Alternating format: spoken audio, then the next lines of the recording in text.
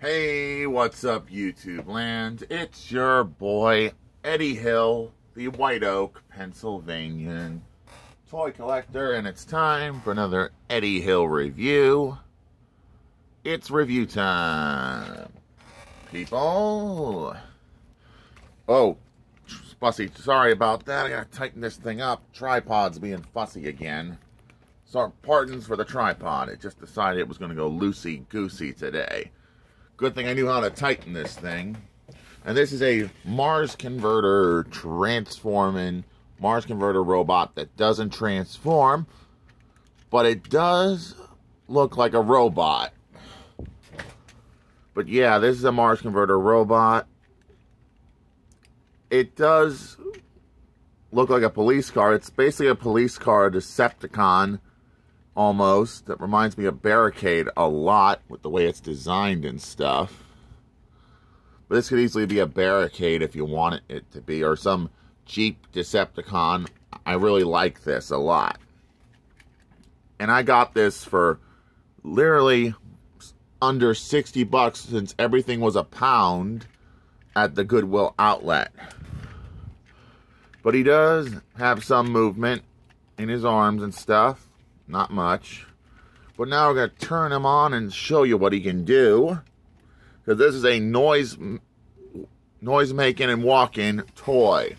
There he goes. He's going into battle. Look at that. He's walking.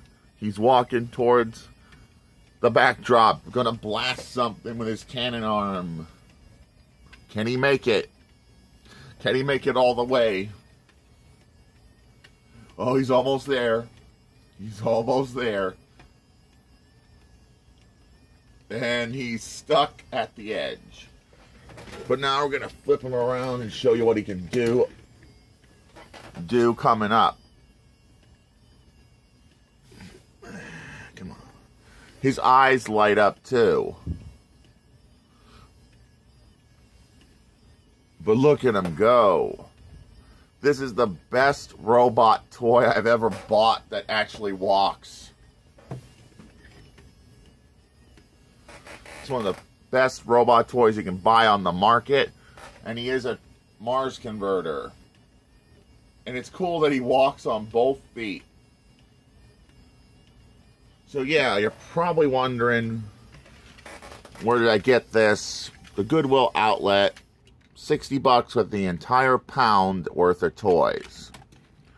I'm sorry I didn't show anything off to all of you. You probably were disappointed. Why didn't you show your cart load outside the store or outside the store yourself?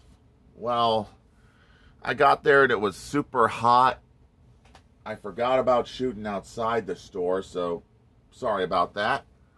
But at least I showed off my entire toy haul after I got home. And this is a lot of epic stuff I found. But now I'm going to end this video. If you like this video, please make sure to like. Please make sure to comment. And don't forget to subscribe for more videos like this. This is Eddie Hill. Moving on and rock on and rock out.